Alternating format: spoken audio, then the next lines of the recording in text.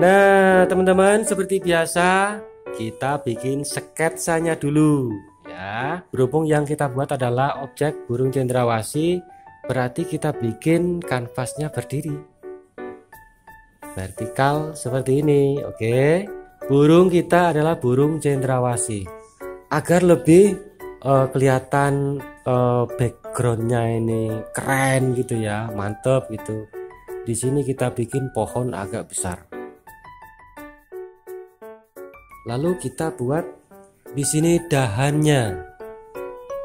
Nah, kira-kira dahan ini untuk apa nih teman-teman? Untuk pijakan si burung cendrawasih kita ya. Burung cendrawasihnya ada di sini. Kita bikin garis lengkung. Nah, lengkung ini ya. Ini untuk ekornya lengkung teman-teman. Nah, yo, lengkung lengkung ya toh? Lengkung lengkung lengkung lengkung lalu kita akan bikin kepalanya sama paruhnya. Kepalanya kira-kira di sini. Gampang aja kita bikin bundaran bundaran bundar bundar bundar bundar bundar. Ya toh? Paruhnya. Paruhnya pasti melengkung ya lengkung, lengkung, lengkung. Ya kan? Lagi. Lengkung ke bawah, lengkung ke atas, lengkung ke atas, lengkung ke atas. Ini setengah lengkung ya, tapi masih berupa uh, ya garis lengkung lah, garis lengkung. Nah, gini aja. Nah, seperti ini, ini sayapnya. Sayapnya lalu paruhnya kita perbaiki kita bentuk ya. Paruhnya seperti ini. Ya lalu kita bikin matanya. Ada di sini. Matanya cendrawasih kita ada di sini. Cendrawasih adalah satu-satunya burung eksotis.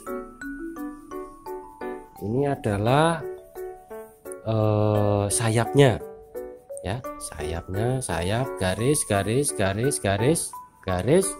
Lalu ini eh, tangkainya nah, yang jadi pijakan eh, burung cendrawasih kita.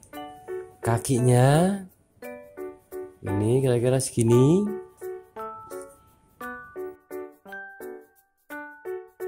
Melukis itu mudah jangan takut salah ya. Oke teman-teman.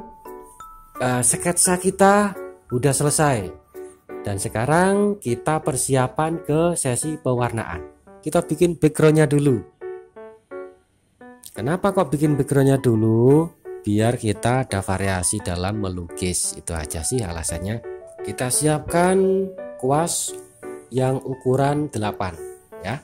Kita ambil warna kuning 3 kita campur dengan warna biru 2 kira-kira seperti ini jadinya langsung kita goreskan di sini atau ditutulkan tul tul tul tul tul tul tul tul tul tul tul tul tul gini ya semua ya teman-teman ya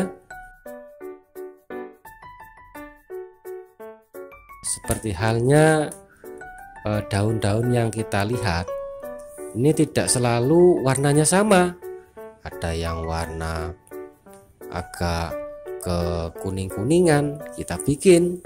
Kita kasih warna kuning ya. Perbandingannya kira-kira dua. Seperti ini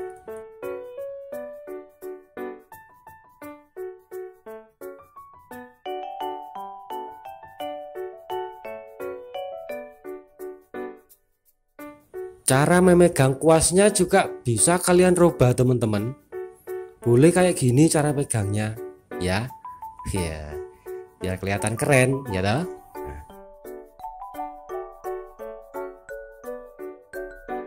ini tadinya ada dahan di sini ada ranting ya. Kita pinjam aja dulu.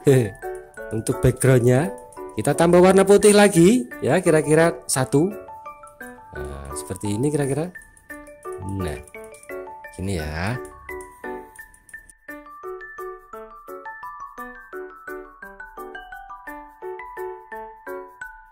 Batas antara background dan objek uh, burung cendrawasih kita ya. Kita bikin rapi dulu, kita rapikan.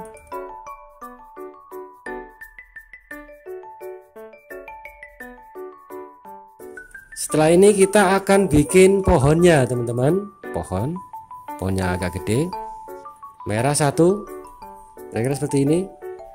Lalu kuning.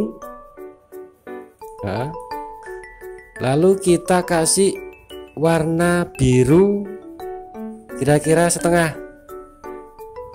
Lalu kita kasih warna hitam sedikit aja. Sedikit kira-kira seperempat. Oh kurang. Seperempat. Nah untuk pohon kita garis garis garis garis garis garis garis garis garis.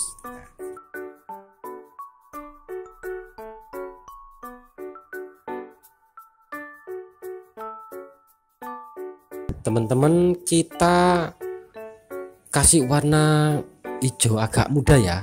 Untuk background masalahnya tidak semua warna daun itu sama ya. Memang benar sekali lagi memang benar warna daun itu hijau tapi hijaunya variatif. Ada hijau tua hijau muda dan seterusnya ya.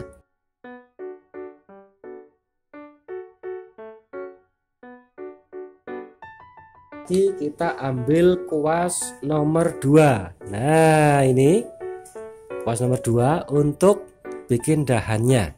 Warna yang kita perlukan warna kuning warna merah perbandingannya satu banding satu terus kita kasih hitam sedikit kira-kira setengah jadinya seperti ini untuk bikin dahan dan kakinya kakinya di sini.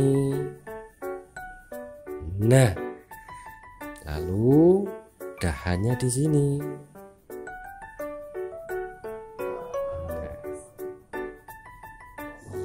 Ya, kondisional ya teman-teman ya. Kita bikin dahannya ada yang kuasnya kita tekan, ada yang kuasnya kita bikin setengah-setengah.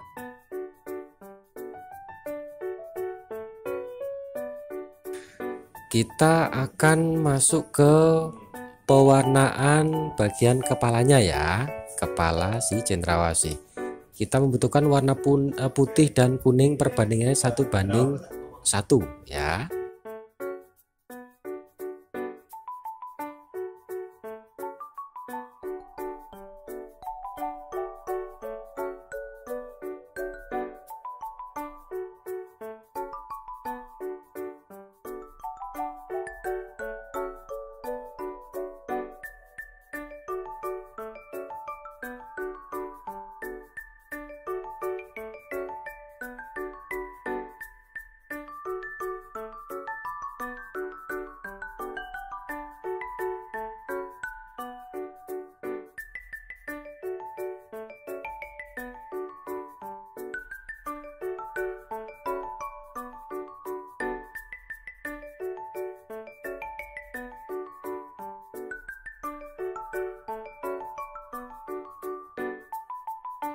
teman-teman ini ada unsur warna hijau. Ada warna hijau di sebelah paruhnya si cendrawasih kita. Oke? Seperti ini. Lalu kita akan memberikan efek pencahayaan untuk paruhnya. Kita ambil warna putih.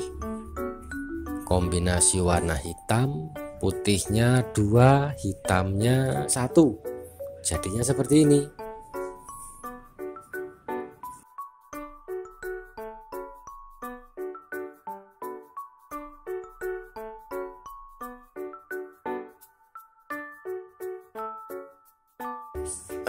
uniknya dari sini teman-teman. Nah ada lakukan di paruh cendrawasih kita.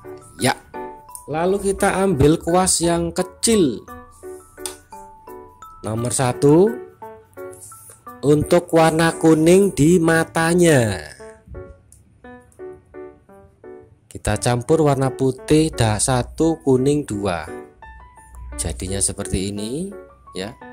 Oke kita kasih warna kuning semua ndak apa-apa. Nanti kita tutul warna hitamnya kecil saja. Seperti ini ya. Lalu kita kasih eh, kita kasih hitam sedikit saja. Ya hitam natural ya hitam natural. Kita taruh di tengah matanya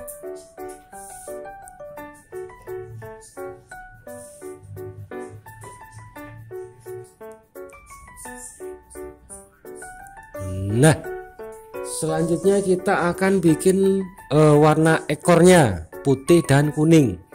Kita persiapkan dengan kuas nomor 2 ya. Kita persiapkan warna kuning dan putih kita campur satu banding dua untuk kuningnya. Kita goreskan di sini. Nah, shrednya garis garis lengkung garis garis lengkung nah ya kan? selebihnya kita akan pakai warna putih. Kita cuci dulu kuasnya yang terkena warna kuning. Putih natural ya yang kita butuhkan untuk ekor cendrawasih kita. Putih natural. Oke. Mudah mudah sekali. Sendrawasih kita hampir jadi. Nah, ya kan?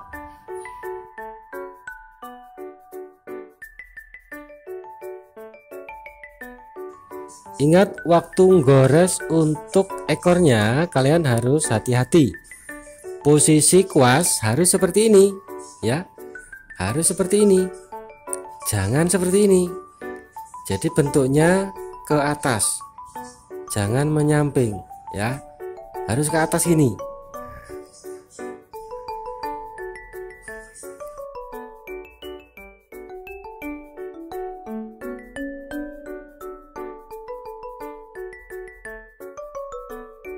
kita rapikan dulu untuk warna hijau tuanya. Kita ambil kuning dan biru. Satu banding satu ada unsur warna hitam seperempat saja kira-kira jadinya seperti ini. Pencahayaan berasal dari atas. Kita ambil warna putih kuning satu banding satu. Kira-kira seperti ini. Kita goreskan cara menggoreskannya pegang kuasnya seperti ini ya. Ya jari kelingking kita tempelkan di kanvas. Nah, goresnya asal-asalan saja jangan terlalu ditekan.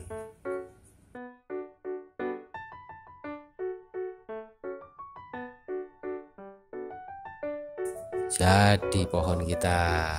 Oke setelah itu kita bikin kakinya dia sedang mencengkram ranting pohon.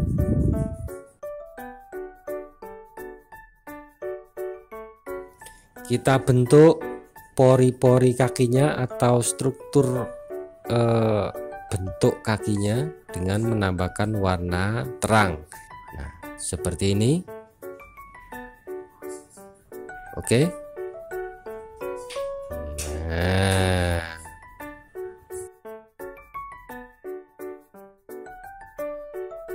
kita kasih lagi warna putih untuk ekornya.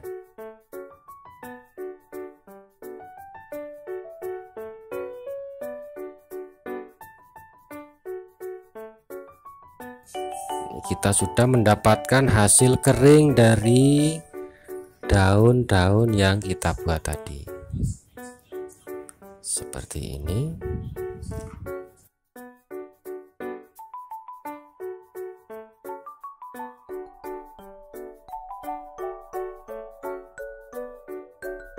kita siapkan putih kuning merah. 112 untuk sayap cendrawasih kita. Nah seperti ini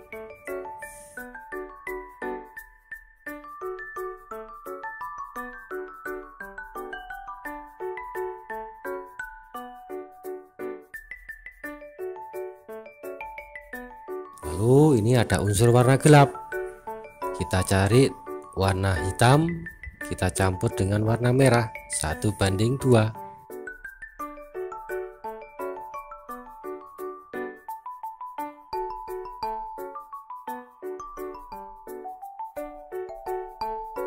Kita sudah finish.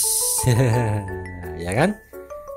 Gambar kita sudah selesai. Cendrawasih kita udah beres jadi kesimpulannya teman-teman melukis itu mudah jangan takut salah ya dan yang belum subscribe segera tekan subscribe like share dan komen agar tutorial terbaru dari kami Bin Autis Channel kalian orang yang pertama kali melihatnya. Oke, terima kasih. Mudah-mudahan bermanfaat. Salam, see you, bye.